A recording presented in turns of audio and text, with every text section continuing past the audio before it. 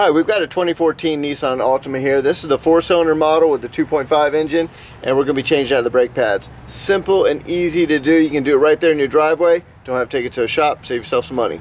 All right, so the first thing I do is I usually take a screwdriver. I come right up here in this slot, and I'll pull until the caliper comes all the way out to the edge and doesn't go any further. What that's doing is putting the piston back inside the caliper. Makes it a lot easier for you.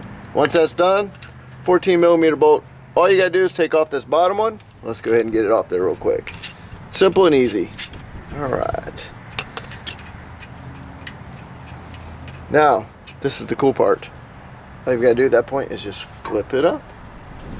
Once you flip it up, just slide them out. And it was definitely time for brake pads. New one, old one. Yes. This guy right here out. All right. Now, there's a trick to getting them back in. One thing you want to do before you put them in though, is make sure your sliders slide nice and easy. Everything is working like it's supposed to. You just pretty much goes side to side. All right. If they do not slide in and out, you need to go ahead and slide it off. There's a little rubber boot. Clean it up, put some grease in there, put it back in. All right. Here's the little trick with these things you have a couple little tabs right here. All I do is I'll slide that little tab right here underneath this tab and kind of get the top one in first and then I work the bottom one in. Just like that. Makes it a lot easier, but you just have to make sure you slide that one tab underneath this tab and go from there. All right, let's do the back side. Back side is on the opposite direction. So do the same exact thing.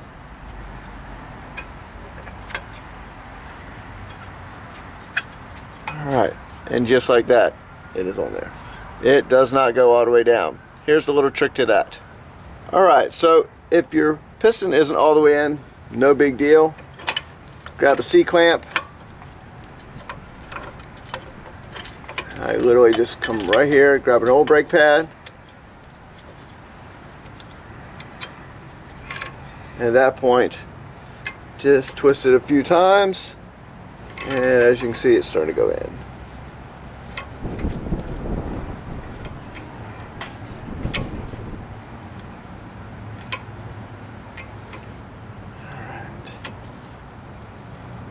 And just like that we're done. Pull that back off and it should slide right back down just like that. Let me show you again. It goes down so simple and easy. Grab the bottom a little slider, slide it in a little bit, put the caliper where it's supposed to go, put your bolt back in.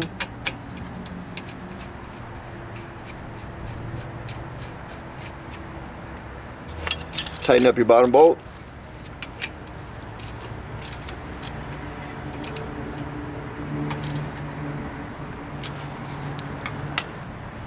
And just like that, that is changing out your brake pads on your 2014 Nissan Altimas. Very simple and easy to do. It's pretty much the same thing if you have the six cylinder in your Nissan Altima. So um, just different brake pads. Don't forget to check out CodyTheCarGuy.com for your DIY auto parts source. We carry a lot of transmission parts on there and your aftermarket bolt-on products. Anyways, hope that helps you guys. I'll catch you on the next one.